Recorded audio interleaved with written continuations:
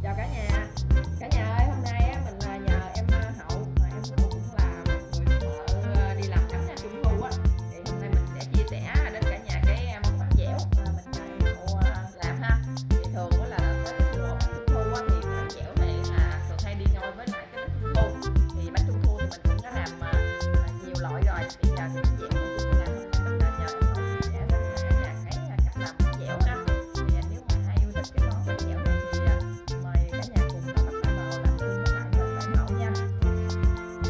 Để làm ra cái món bánh dẻo là trước tiên mình sẽ chuẩn bị cái phần nước đường trước.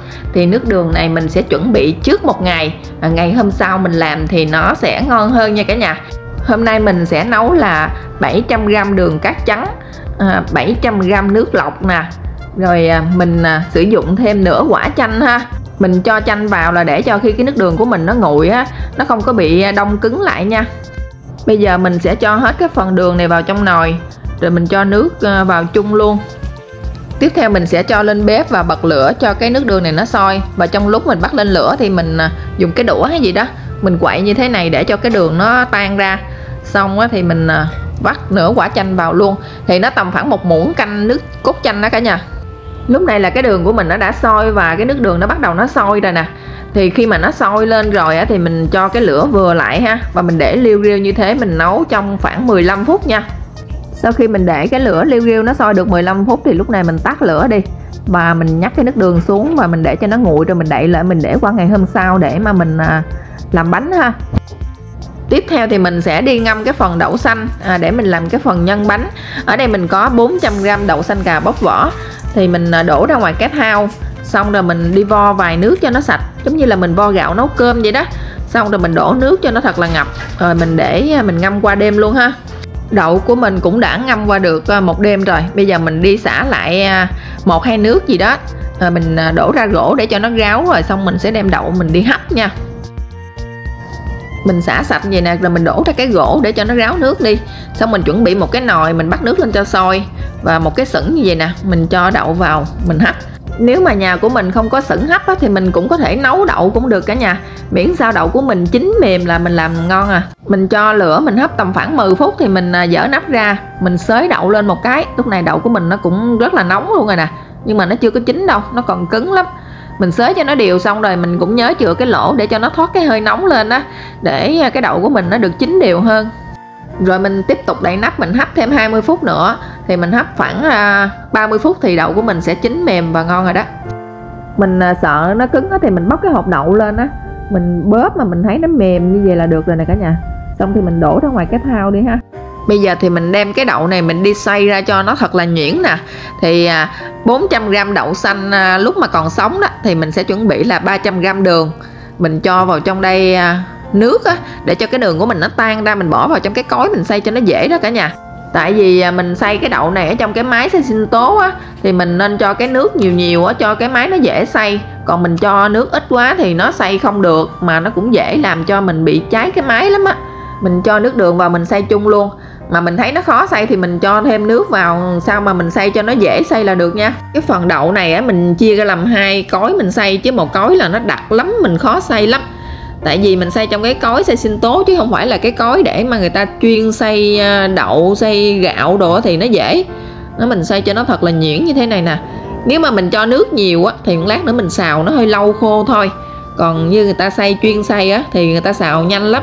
Mình không có cái máy chuyên xay cái này cho nên mình xay trong cái máy xay sinh tố thì nó cũng hơi khó nha. Cả nhà xay thì mình nên kỹ cẩn thận để thôi, nó dễ bị cháy máy lắm nha cả nhà mình cảm thấy mà nó đặc quá thì mình nên cho nước vào để cho nó dễ cho nó nhẹ cái máy mình á. Thì trong cái nhân này á là ở đây mình có là dầu ăn nè dầu ăn 100g rồi à, sữa sữa đặc sữa đặc thì tùy theo mình à, thích cho nhiều thì cho cho ít thì cho. Mà cho tầm khoảng hai muỗng canh không à, hậu? Cỡ hai muỗng canh đi cho nó ngon. Rồi mình có cho thêm bột nữa. Ở đây mình có 100g bột nếp với lại 50g à, bột mì. Để mình xào cái nhân nè bây giờ trước tiên là hậu cho cái dầu ăn này Dầu trộn với lại bột nè. Hết luôn hả? Chắc còn lại trộn còn nhiêu còn nhiêu mình cho vô chảo mình xào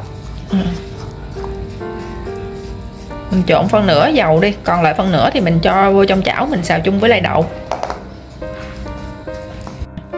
Rồi cái bột này mình trộn với dầu này mình đánh chừng nào mình cảm thấy nó mịn ha. Đừng có bị ốc trâu là được nha nó còn đặc đặc gì nè. Đừng có lỏng quá rồi xong thì mình bắt cái đậu này lên à, trên bếp. Cho cái phần dầu ăn còn lại nè, cho hết chưa ha?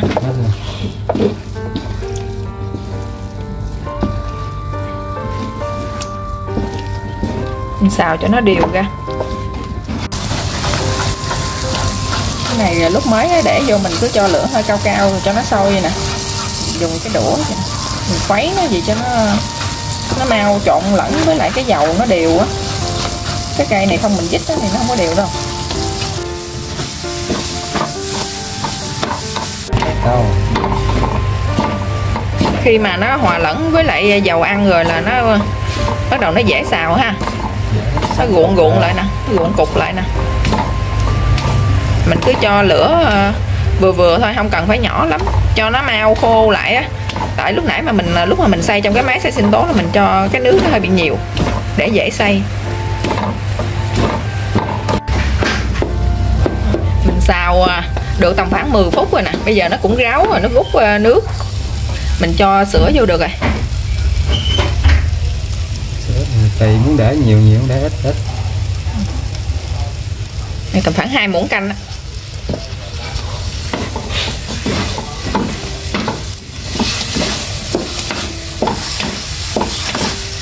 khi mà mình à, cho cái sữa vô á mình à, xào tầm khoảng 5 phút. Bây giờ mình à, tắt lửa mình cho bột vô luôn nha cái chảo nó đang nóng nè. Rồi mình phải tắt lửa ha. Tắt lửa. Rồi cho bột vô đi. Hết cái bột này. Dát hết cái bột này vô luôn.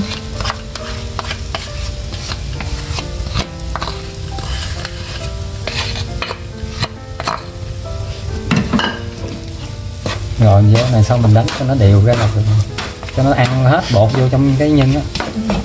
À, lúc này mình cho bột vào á là mình đã tắt lửa rồi nha à, cái nhân nó đang còn nóng với lại cái chảo nó còn nóng á mình trộn đều lên là được rồi đó. Mình trộn cho nó đều nhân xong rồi mình à, chảy ra đây.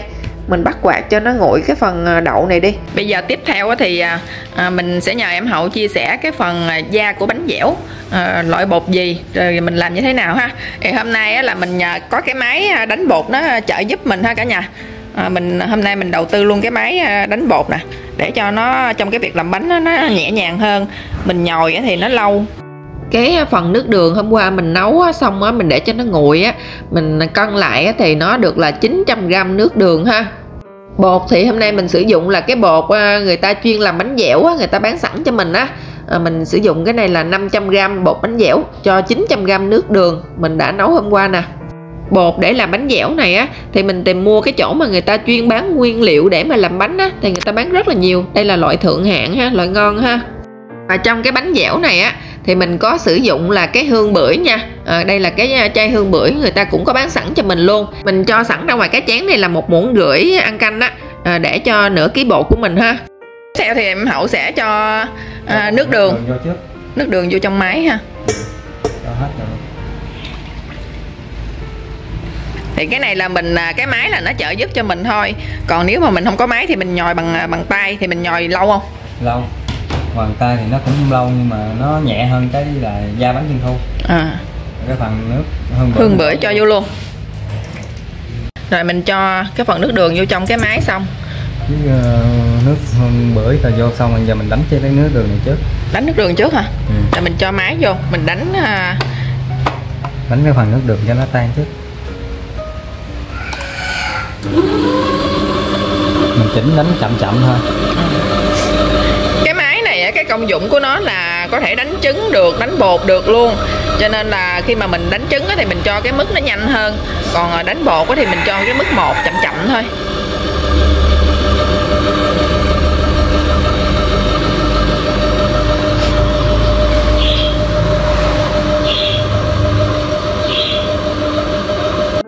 Rồi xong bây giờ là mình cho bột vô từ từ phải không? Cái bột là mình phải cho vô từ từ chứ không có cho một lần một à. Về sau đổ lấy cái muỗng múc đi. Đó cho vô từ từ. Cái máy này mình cũng mới mua mình cũng mới dùng thử luôn á cả nhà. Cái máy này thì mình mua ở cửa hàng điện máy á là hình như là mình mua nó hai triệu mấy á. Mình mua nó cũng giảm giá rồi đó còn hình như 2 triệu 8 hay gì á xài gia đình rồi nó ít thì xài máy này xài được rồi à. tại nhà mình cũng hay làm bánh này bánh kia á. Mình mua cái máy gì cho nó tiện trong cái phần mà trộn bột á.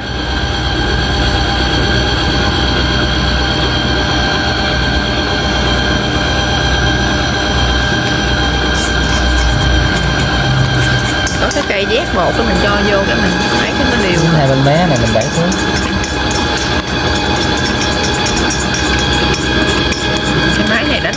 mình muốn nhanh hơn thì mình cho nó cao hơn một mức nữa là nó nhanh à. Cái này sự mức một hả? Mức hai à? Mình cảm thấy nó chậm thì mình tăng tăng lên Ờ. dễ mà.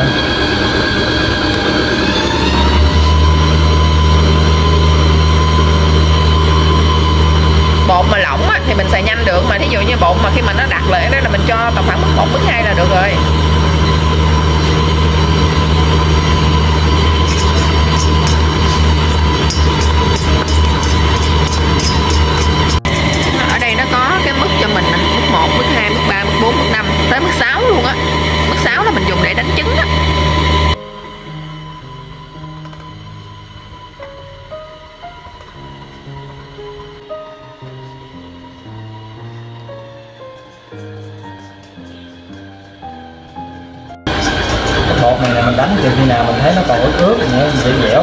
bột này nó mịn mịn nó đều á thì mình cho ra.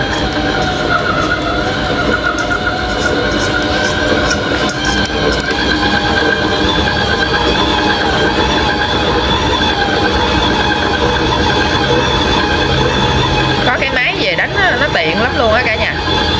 Mình không có mất thời gian với lại à, đánh bột á nhằm cái bột mà như bột à, nó dẻo á mình đánh á, nó lâu á nó nó, nó, nó mỏi tay vậy lắm mình thăm chừng bột của mình coi nó được được chưa? Nó đạt chưa? Cũng dẻo ha. Dạ, dạ. hả? Được rồi. Được chưa? Được rồi. Được ha đó bây giờ nó dẻo rồi được rồi cả nhà ơi.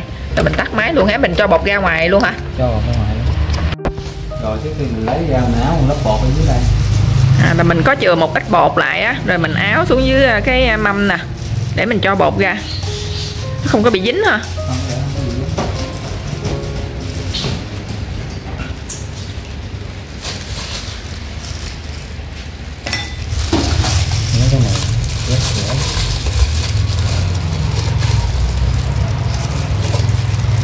dẻo dữ ha. Còn nó dẻo quá chừng dẻo luôn.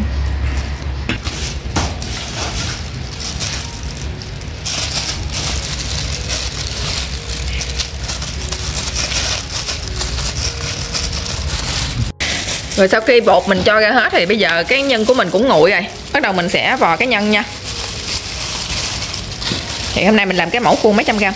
200 gram. À, mẫu khuôn 200 gram. Thì mình hiện tại là đang đổ nó chừng tại thường làm bánh thì mình nhắc cái này nó độ khoảng chừng 70 70 gram hả? 70 gram. Là cái nhân nó nhỏ hơn cái phần da phải không? Ừ. nhưng mà cái này cái theo cái lô số lượng này chắc có thể mình cho cái nhân bự hơn em à. tại cái da mình ít quá. Thì mình làm cái da mỏng hay là vậy là tùy mình thôi. Cái nhân của mình cũng đã vò xong rồi. Bây giờ hả em hậu sẽ chia cái phần da bánh ra nè. Rồi để mình à, cho vào trong khuôn mình ra bánh nha. Hôm nay mình sử dụng cái khuôn tháp là 200 gram. Cái khuôn này là mình để làm bánh trung thu đồ luôn nè cả nhà. Mình sử dụng chung một khuôn à.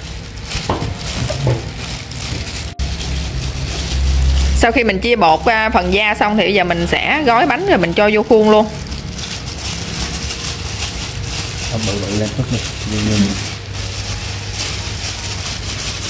Thì cái cách gói thì mình cũng gói giống như bánh trung thu thôi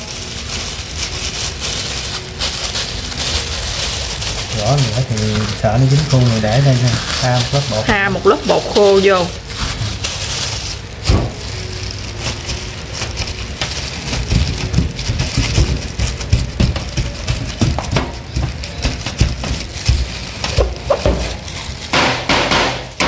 Sau khi mà mình cho cái bánh ra khỏi khuôn là mình có thể cắt ra mình dùng ngay luôn rồi đó. Bánh này thì làm khá là đơn giản và cũng rất là nhanh.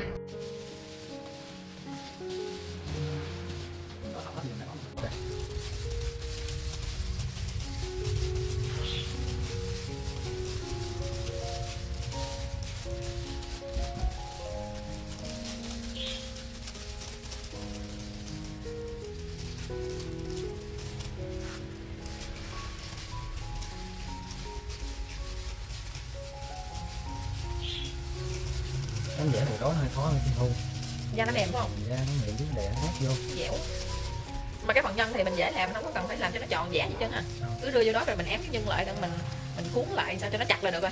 Dạ thì đã vô khuôn mà khuôn nó ép nó cứng ngắt rồi. Đâu có sợ đâu. Dễ cắt mà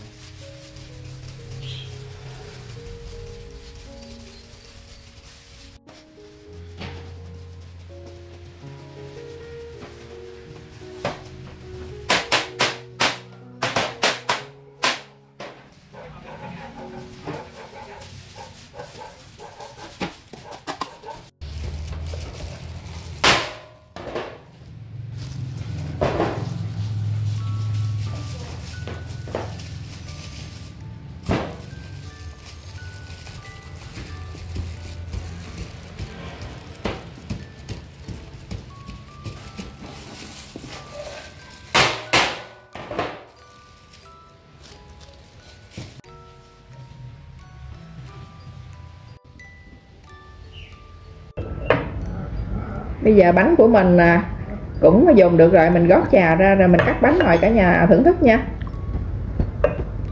Trà thơm quá. Trà nóng hổi luôn. Thì bao nhiêu nguyên liệu đây là mình làm được bao nhiêu cái? 14 14 cái luôn á cả nhà. À, có những cái mình làm hơi mỏng vỏ nó lộ lộ cái nhân ra nè. Nhưng mà nhìn cũng rất là ngon. Bây giờ mình lấy một cái mình cắt mời cả nhà nha này là cái dao mà dùng để cắt bánh trung thu này cả nhà.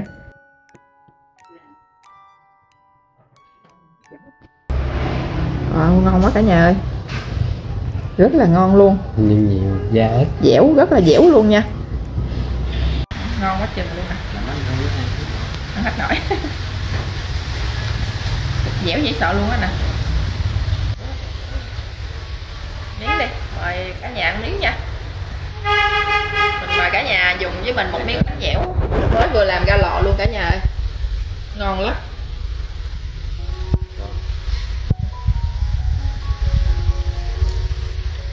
Ừ. Bột dẻo quá trời ha. Độ ngọt nó vừa phải rồi cả nhà. Không có ngọt lắm ha. Cái này mình ăn à, mình uống trà nóng vậy nè cả nhà. Vừa ăn vừa uống trà nóng ngon tuyệt vời cái da nó ngọt là bởi vì cái nhân nó nhiều nhưng mà ngọt cũng ngắn có nhiều khi mình mua nhầm cái bánh dẻo cũng ngọt dữ lắm ngọt luôn nha. Chúng em ăn ổng là đem về cho ăn là ngọt ngọt, này à. Ngọt quá nó cũng ngán. Này. Này vừa ăn ngon cái này làm cái gì bạc ha. Như bánh của mình làm nhà mình ăn á thì mình làm trong gia đình mình ăn á thì mình không có để được lâu đâu. Mình ăn tầm khoảng chừng một tuần 10 ngày đổ lại thôi cả nhà. Không mình không có để chất bảo quản gì hết cho nên là không thể nào mình để được qua tháng ha. Còn như người ta làm công nghiệp á người ta làm nhiều á thì à, người ta có sử dụng chất bảo quản thì mình mới để được một hai tháng. Bánh dẻo này thì thường thường tới mùa trung thu á bánh người ta bán á mình để một tháng hơn tháng là chuyện bình thường. Còn bánh này mình làm cho gia đình dùng thì mình ăn trong khoảng một tuần là được rồi ngon rồi. Ai mà ai mà xiên thì lấy bọc để vô hơi lại. Đúng rồi. Hơi lại thì để lâu được. Mình cho vô trong cái bọc á mình à, cột kín lại hoặc là mình hơ lại để à, cho nó kín nó không có bị khô cái bánh của mình thì mình để tầm khoảng một tuần 10 ngày. Ngon bánh rất ngon luôn. Một lát mình cũng kiếm bồng để làm cái gì đó. Chứ mình để về mình ăn không hết mình để là nó sẽ bị khô á. Mà cái nhân rất là vừa ăn ngon lắm. khô cứng. Dẻo ngon. Thì thôi video của mình là chia sẻ về cái món bánh dẻo à, của anh thợ hậu. À, đến đây mình cũng xin tạm dừng nha cả nhà. À, nếu cả nhà xem thấy hay thì nhớ cho mình một like rồi bấm à, đăng ký theo dõi kênh để xem tiếp những video sau của mình nha. Bây giờ thì xin chào tạm biệt. Bye bye